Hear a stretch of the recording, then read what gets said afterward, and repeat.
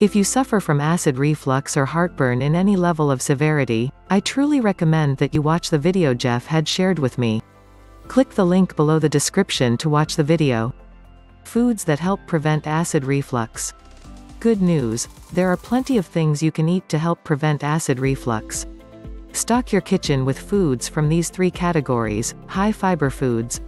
Fibrous foods make you feel full so you're less likely to overeat, which may contribute to heartburn. So, load up on healthy fiber from these foods. Whole grains such as oatmeal, couscous and brown rice. Root vegetables such as sweet potatoes, carrots and beets. Green vegetables such as asparagus, broccoli and green beans. Alkaline foods. Foods fall somewhere along the pH scale, an indicator of acid levels. Those that have a low pH are acidic and more likely to cause reflux. Those with higher pH are alkaline and can help offset strong stomach acid.